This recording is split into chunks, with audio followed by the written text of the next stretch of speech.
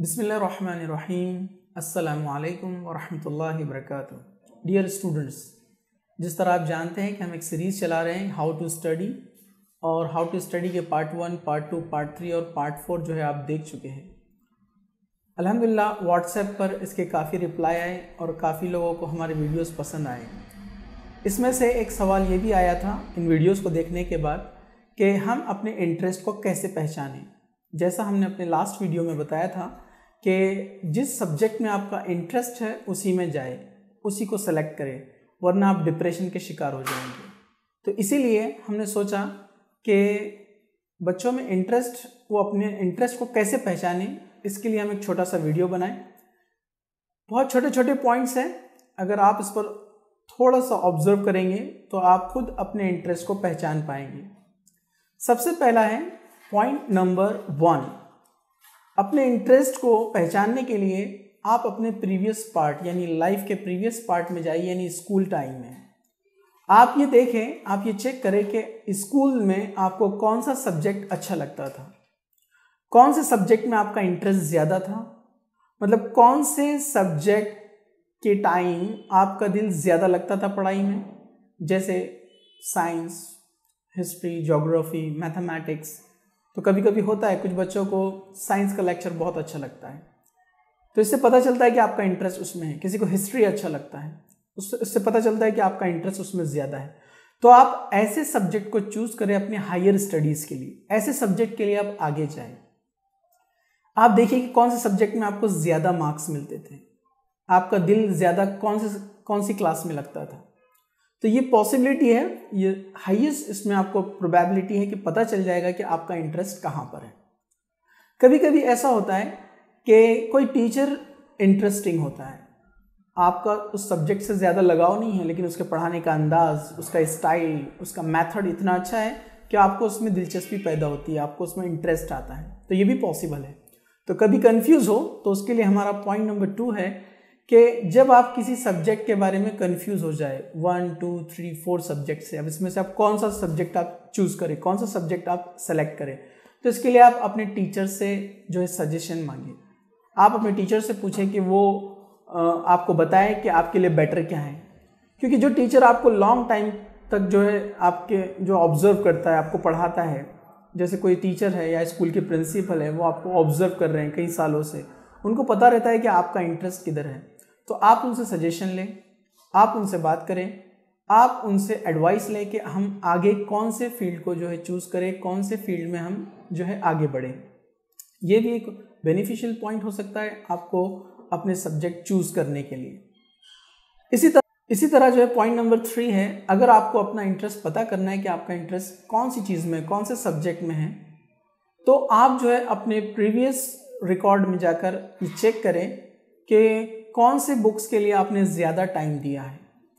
कौन से बुक्स को आप ज़्यादा पढ़ते थे? आप उसको ज़्यादा पसंद करते थे।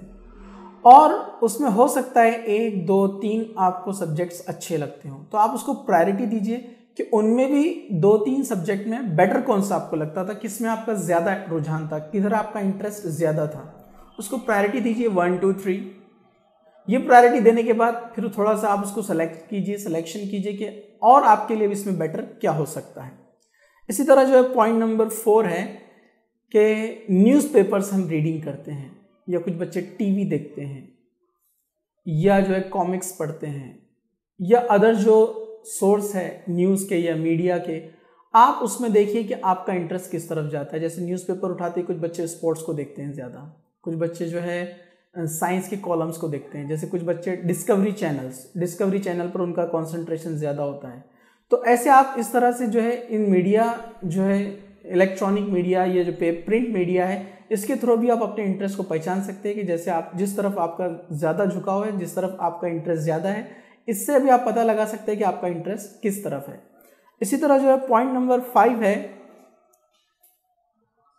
आपने जो प्रायोरिटी दी है इंटरेस्ट की वन टू जिस तरह आपने प्रायोरिटी दी है कुछ सब्जेक्ट्स के, उन, जिस तरह आपने कुछ बुक्स को जो है प्रायोरिटी दी है कि इसमें से हमको सिलेक्शन करना है तो उन बुक्स में से आप कुछ बुक्स सेलेक्ट करें।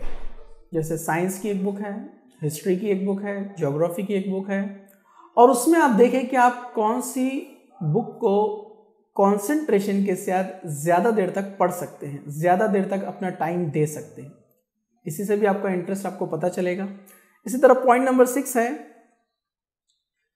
the subject you want to study और you like to study in your leisure time कि आप अपने लेजर टाइम में खाली वक्त में कौन सा सब्जेक्ट पढ़ना पसंद करते हैं?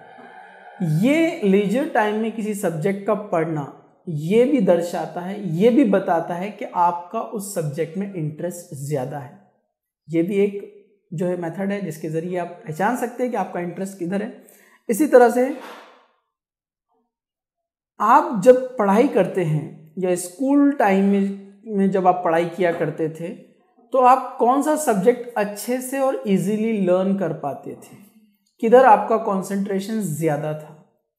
का, कौन सा सब्जेक्ट आपको इजी जाता था? मतलब कम समय में आप ज़्यादा लर्न कर सकते थे। इस तरह भी आप पहचान सकते हैं कि आपका इंटरेस्ट कौन से सब्जेक्ट की तरफ़ है। इसी तरह पॉइंट नंबर एट है। कि कभी कभी इन सारे पॉइंट्स को देखने के बाद भी कन्फ्यूज़न होता है। जब हम स्कूल से निकलकर जूनियर कॉलेज की तरफ़ जाते हैं, यानी एलेवेंथ में हम जब एडमिशन लेते हैं तो कभी कभी कन्फ्यूज़न हो जाता है।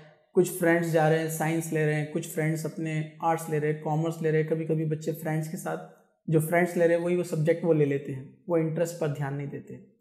ये जो इतनी सारी बातें आपके सामने रखी गई है, उस पर वो उनका ध्यान नहीं होता है, या उस पर वो सोचते भी नहीं है, या सोचने की कोशिश भी नहीं करते जबकि इस पर हमें सोचना चाहिए, क्योंकि ये हमारे फ्यूचर का सवाल होता है, ये हमारे लाइफ का डिसीज़न होता है, ये बहुत इंपॉर्टेंट है एलेवेंथ और ट्वेल्थ की जो स्टडीज़ हम करते हैं। तो इसमें आप जो है अपने इंटरेस्ट को ज़रूर पहचानें। कभी कभी कन्फ्यूज़न हो जाता है।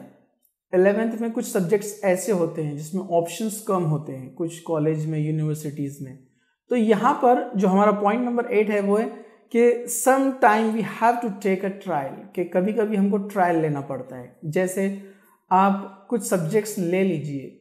एलेवेंथ में फ्लेक्सिबिलिटी होती है, आप आफ्टर सम मंथ और आफ्टर सम टाइम आप जो है आपके सब्जेक्ट को चेंज कर सकते हैं। तो टेक अ ट्रायल जैसे मैथमेटिक्स लेना है या नहीं लेना है, आप क्लास अटेंड कीजिए। क्लास अटेंड करने के बाद आप चेक कीजिए। आपका दिल उसमें लगता है, आपको ईजी जाता है।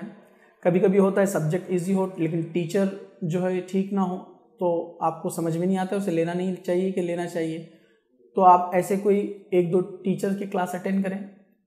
एक टीचर जो मैथमेटिक्स पढ़ाते हैं, दूसरे टीचर और जो मैथमेटिक्स पढ़ाते हैं, ऐसे आप चेंज टीचर चेंज करके देखें। अगर आपको टीचर चेंज करने के बाद भी उस सब्जेक्ट में इंटरेस्ट नहीं लगता है मतलब आपका उस सब्जेक्ट में इंटरेस्ट नहीं है। तो आप उसको ड्रॉप करें, उसके ऑप्शन में कोई दूसरे सब्जेक्ट को आप जो है चूज़ करें। तो इस तरह भी जो है आप अपने इंटरेस्ट वाले सब्जेक्ट को पहचान सकते हैं। इसी तरह जो है पॉइंट नंबर नाइन है subject you like to read again and again the subject you like to read again and again ये भी हमें बात बताता है कि आपका उस सब्जेक्ट में इंटरेस्ट है। जैसे होता है, स्कूल में भी होता होगा और अभी भी आप देखते होंगे कि आपका दिल बोलता है कि ये सब्जेक्ट को ज़्यादा पढ़ना चाहिए। या जब भी आप खाली वक्त में रहते हैं, आपका दिल बोलता है कि बस मुझे यही पढ़ना है, यही अच्छा लगता है। तो ये बात बताता है कि यहाँ पर आपका इस सब्जेक्ट में इंटरेस्ट है। सो गो फॉर दैट आप उसके लिए जाइए। आप जो है, अपने इंटरेस्ट को इन पॉइंट्स के ज़रिए से जो है, पहचान सकते हैं। उम्मीद है ये सारे पॉइंट्स आपको बेनिफिशियल साबित होंगे। अपने सब्जेक्ट को, अपने कोर्स को, अपने इंटरेस्ट को सेलेक्ट करने के लिए। जजाकला खैर।